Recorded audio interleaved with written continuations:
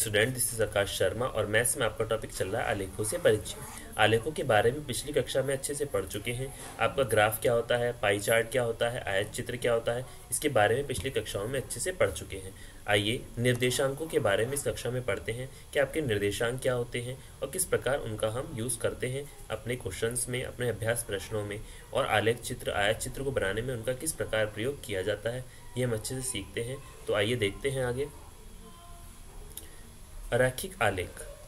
रैखिक आलेख। रेखा आलेख, अनेक रेखाखंडों को परस्पर मिलाकर बनाया जाता है, ये बात आपको पता है। और कभी कभी यह आलेख एक पूरी अखंडित रेखा भी हो सकती है, जैसे आलेख को रैखिक आलेख कहते हैं। ऐसी जो हमारा आलेख बनता है, उसको क्या बोलेंगे हम? रैखिक आलेख।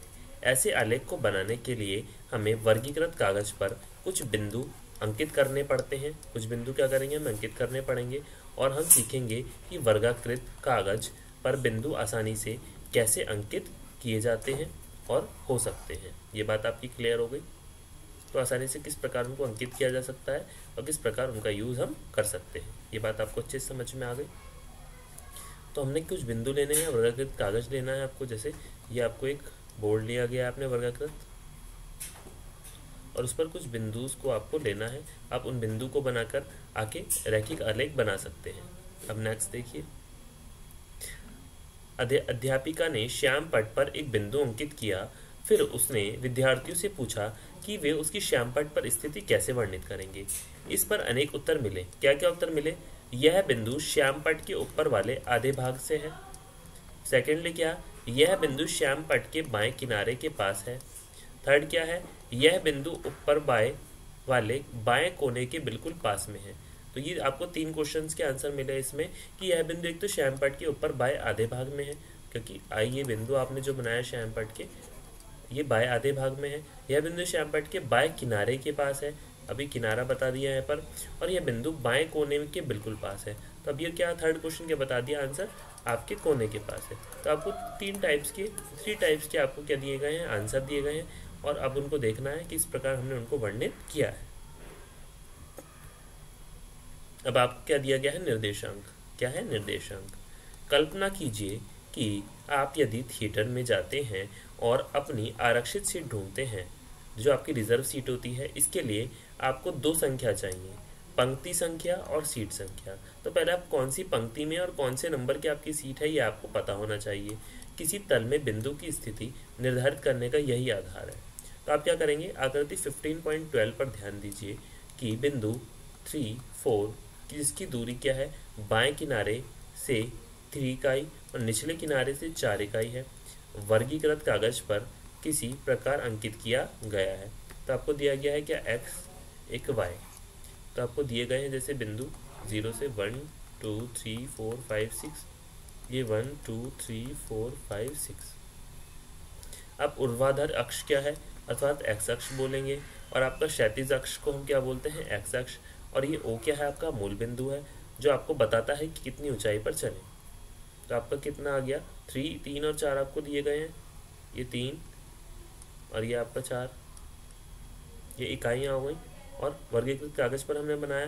और इससे सुविधा होती है कि हम क्या कर सकते हैं? एक्स अक्ष तथा वाई अक्ष निर्धारित करते हैं। इससे हम कह सकते हैं कि तीन और चार जो बिंदु हैं, वो निर्देशांक हैं। तो इसके निर्देशांक क्या होंगे? जहाँ पर ये बिंदु लिए जाएँगे, वो इसके निर्देशांक कहलाते हैं। अब देखिए, उदाहरण नंबर आपको दिया गया है तीन। एक आलेख में बिंदु चार और तीन अंकित कीजिए। क्या यह वही बिंदु हैं जो तीन और चार दर्शाते हैं? अब देख सकते हैं हल। वर्गाकृत कागज़ पर एक्स अक्ष पर तथा वाई अक्ष निर्धारित कीजिए।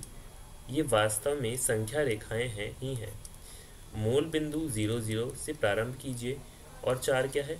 इकाइयाँ दाई और चलकर फिर तीन इकाई ऊपर की ओर चलें और आपको बिंदु थ्री फोर और थ्री प्राप्त होता है। आकृति फिफ्टीन पॉइंट वन 15.13 देखकर, अब देखिए आकृति दी गई है। आप समझ सकते हैं कि बिंदु चार और तीन तो बिंदु तीन व चार अलग अलग बिंदु हैं। अब देखिए, ये क्या है आपका? चार है बिंदु। अब देखिए, ये आपको तीन बिंदु, ये आपका चार, ये आपको अलग अलग दिए गए, और यहाँ पर आपका क्या आ गया तीन, ये आ गया आपका चार। ये बात क्लियर हो गई? यहाँ से आपने एक बिंदु यहाँ से लिया और एक बिंदु आपने यहाँ से लिया। तो हमको पता चल गया कि चार और तीन इकाई के जो बिंदु हैं, वो अलग अलग किस प्रकार हमने इसमें लिए हैं। अब नेक्स्ट देखिए। उदाहरण नंबर चार। आकृति 15.14 देखकर निम्न आकृति बिंदुओं की स्थिति के लिए उपयुक्त अक्षर चुनिए। तो आपको दो गए टू और वन सेकंड ज़ीरो और five third two comma zero तथा लिखिए। और ये क्या है आपका? बिंदु ए के निर्देशांक और फिफ्थ क्या है? बिंदु एफ़ के निर्देशांक। तो आपको वाई एक्सिस वाई अक्ष और आपको एक्स अक्ष दिया गया है। इनको क्या बोलेंगे आप? अक्ष बोलेंगे। अब इसमें देखिए आप क्या है? फाइव ये टू में आ रहा है। ये आपका वन ये आपका आ गया थ्री ये क्या आ गया आपका फाइव और ये आ गया आपका फाइव पॉइंट फाइव ये बात आपकी क्लियर हो गई। अब फ़र्स्ट वाला क्या है? टू और वन है बिंदु ई e, तथा डी नहीं है। ई e पर है डी नहीं है। ये देखिए। अब क्या है? बिंदु ज़ीरो फाइव बिंदु बी क्यों? मित्रों के साथ चर्चा कीजिए। और थर्ड क्या है? टू ज़ीरो यह क्या है? बिंदु जी ये बिंदु जी हो गया आपका यहाँ पर। और ए के निर्देशांक क्या है? फोर और फाइव तो ए के निर्देशांक क्या है? फोर और फाइव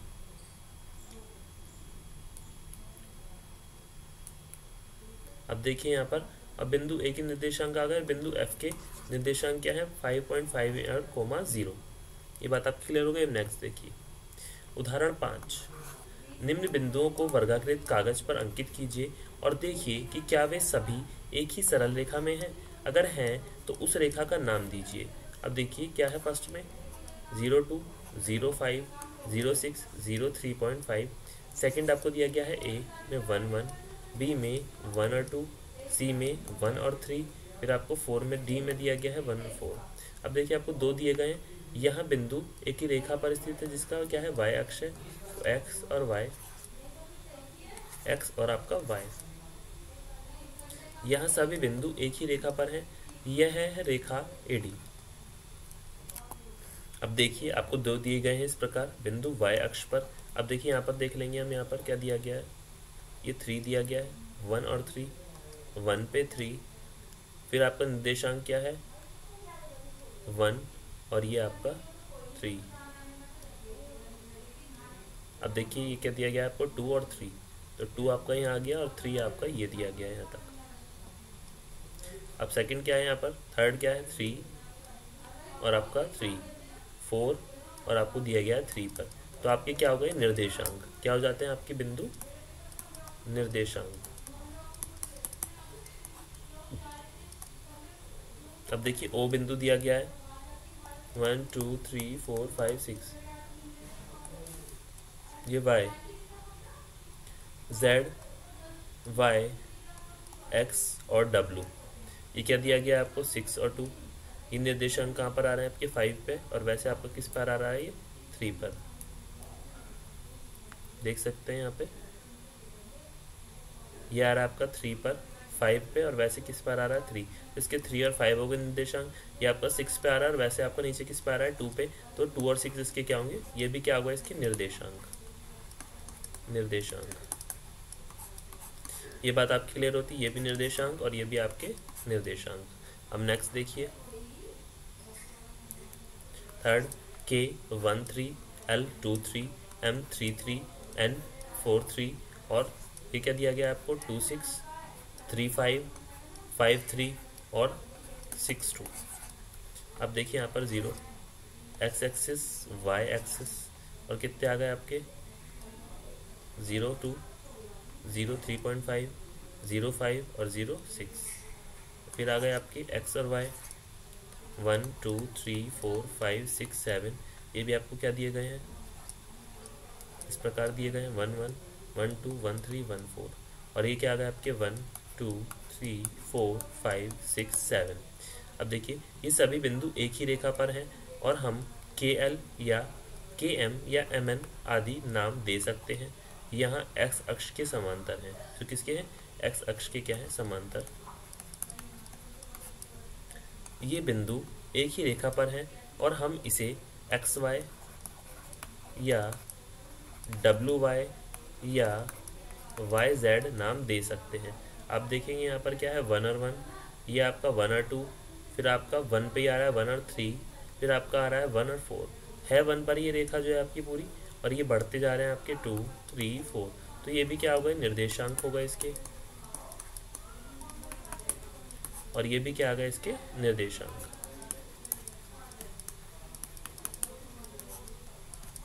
अब नेक्स्ट देखिए। तो आज हमने क्या सीखा? तो हमने क्या सीखा? आइए इन टेबल को दोबारा से पढ़ते हैं और समझते हैं कि हमने निर्देशांकों को कैसे लिया है। निर्देशांक क्या था? वन और थ्री अगर हमें निर्देशांक पहले से दिए हैं तो हम उनके अकॉर्डिंग चलेंगे। वन और थ्री तो यहाँ पर देखिए वन और थ्री वन और थ्री पे यहाँ पर आ गया। वन आपका ये आ गया। फिर आपको टू और थ्री दिया गया था। यहाँ पर हम ले लेते हैं ये बिंदु आकृति। फिर थ्री और थ्री फिर आपको फोर और थ्री आपके एन वाले पॉइंट पर दिए गए अब यहाँ पर डब्ल्यू टू सिक्स इसको हम एक और बना लेते हैं आकृति।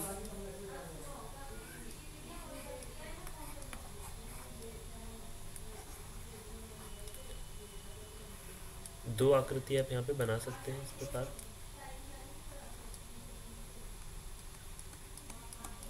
वन टू थ्री फोर यहाँ पर भी हम क्या लेंगे?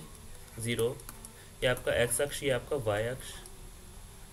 One two three four five अब कैसे ले सकते हैं यहाँ पर? वन और थ्री तो वन और थ्री वन और थ्री ये बिंदु बिंदु लेंगे हम यहाँ पर इस प्रकार। फिर आपका आता है टू और थ्री टू और थ्री पर यहाँ पॉइंट आ गया आपका। फिर आता है आपका थ्री थ्री थ्री और थ्री ये आ गया आपका पॉइंट फिर आपका आता है क्या? फोर और थ्री तो फोर आपका ये आ गया और थ्री तो आपकी समान रेखा ये बन गई। क्या बन गई? समान रेखा। अब देखिए यहाँ पर। एक यहाँ बना लेते हैं हम। वाई अक्ष और एक एक्स अक्ष।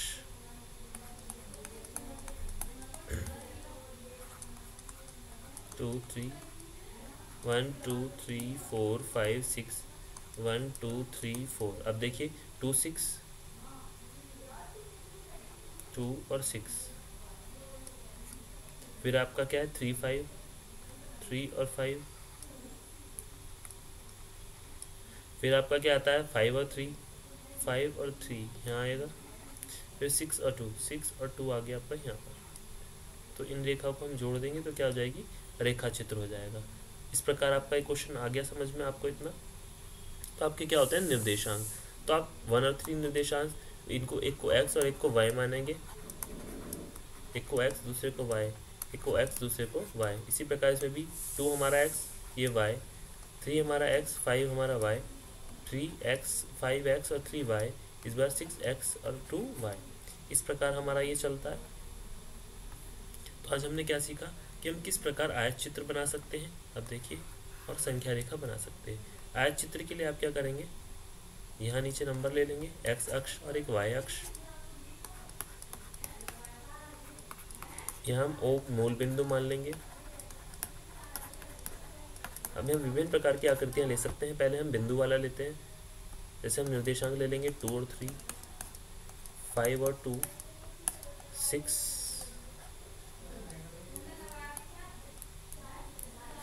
सिक्स और टू।